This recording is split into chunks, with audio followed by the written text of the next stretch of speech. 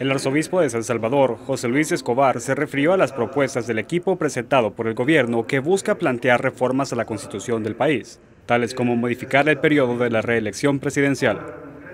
El sistema de gobierno, el sistema de la política de esta nación y la constitución misma no permite la reelección. Son estos los artículos pétreos que se dice. Y y yo creo que eso no está en juego. Por lo que he escuchado, eso está fuera de discusión.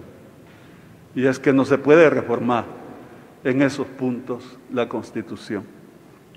No obstante, aclaró que hay algunos artículos que deberían ser reformados, siempre y cuando tengan el apoyo de la población y de expertos. Para decir pues que la Constitución debería resguardar los intereses del pueblo. Y si en algunos puntos no está haciéndolo, pues debe corregirse, debe, debe reformarse. Yo soy de esa idea, con la mejor voluntad.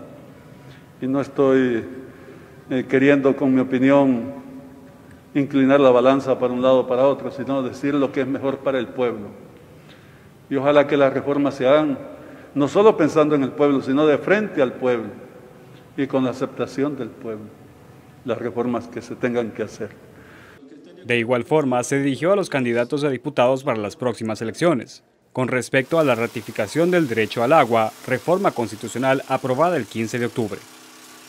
Insistir que los candidatos a diputados deberán pronunciarse sobre este punto, porque el pueblo tiene que saber cómo piensan, y más allá del partido que, al que representen, deberán representar los intereses del pueblo y habría que preguntarle a cada uno que si está dispuesto a, a ratificar la reforma constitucional y grabarle con el celular lo que diga, para después decirle, mire, usted tiene un compromiso con la nación.